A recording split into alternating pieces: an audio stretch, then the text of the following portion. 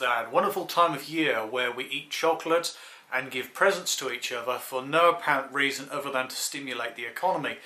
We basically exist in a secular kind of view. Our society is largely secular at this time of year. Those of you who go to church or other religious festivals and events might disagree. Pagans out there celebrating the solstice, and in fact, back in ancient Rome, they used to sing carols going door to door on the 25th of December. You may not know that. Um, yes, people used to bring trees into the room, used to bring trees into their home in parts of Scandinavia as a way of nursing nature, spirits and things. I forget the precise mythology.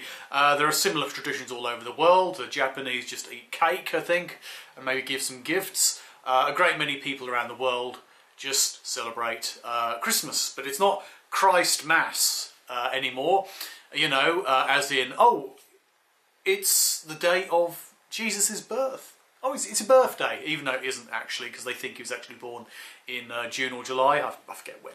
Uh, Jehovah's Witnesses and Muslims disagree, but they're not exactly the best experts on mainstream Christianity, or history for that matter. So I kind of negate some of their views as being necessarily the most uh, qualified. But in any case, you basically have the peculiarity of Christmas. Yes, the peculiarity of Christmas because it was rooted in numerous pagan festivals and events at the end of the year, really, or at the point at which the sun effectively seems to die and is reborn, the uh, winter solstice, and festivals around that time. So the Romans would celebrate a little bit after, and other cultures would celebrate on the 21st. That's why the Mayans had the 21st December. That's kind of like the change of their calendar. And uh, yes, many cultures based their view around that, especially in the Northern Hemisphere, where obviously things appeared to be a certain way from our position in the Northern Hemisphere. Southern Hemisphere, things vary, of course, and so as a result, you have different festivals, different beliefs, different ideas, all over the shop. And now, what we have is people who try and make out it's a Christian festival, it's a Christian event, a day, even though that is diminished, and that's not necessarily a bad thing in some ways and many other people who don't even belong to Christianity or even Western culture for that matter, or have become, become incorporated, incorporate, incorporated into Western culture, have basically adopted uh, Xmas as their day for nice food and good presents. A great many Muslims, a great many Hindus, a great many Jews, they celebrate Xmas. They might even call it Christmas. I tend to call it Xmas, and uh, if people wish me happy Christmas, I'll say Happy Christmas. But to me, it has nothing to do with the Christ or the Christ, the idea of the Saviour in the Latin sense, which was uh, a translation from the Greek and before that the Hebrew concept of a Messiah, or uh, what's it called? Is it, is it Moshek?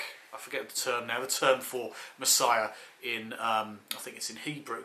But in any case, um, yes, the importance of Christmas. Uh, what's its value? What's its point? Well, that's an incredibly good question. Um, I think now the best you can do is gain some kind of value by being relatively nice to people, giving some gifts to those nearest and dearest, uh, considering the future. That's an important thing, but we have New Year for that as well. And uh, yeah, having a day off work or a day off whatever else you do. A day off Facebook would probably probably be better actually. And uh, I think many people should take that on board. A day off YouTube. Um, easier said than done. A day off the BBC News because that's depressing. That's probably a thing everyone should do all the time. Um, yeah, you know, it's just simply a question of it's just another day, but it's a day which used to hold some kind of religious significance, and now to most people it does not.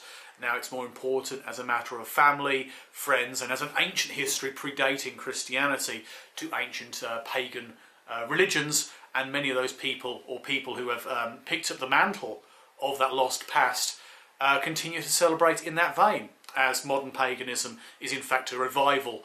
It's a neo-paganism as opposed to the ancient brand.